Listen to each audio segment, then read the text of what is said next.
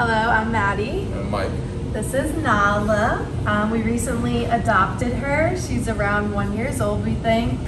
Um, we took her to bulletproof training to kind of just get her some skills. Um, she came kind of confused to us, didn't really know much. Um, we have another dog who got trained, so we wanted her to kind of be on the same page that he was.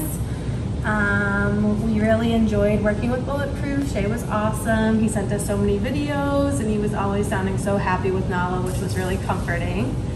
Um, we're really excited to take her home and see how she does. And yeah.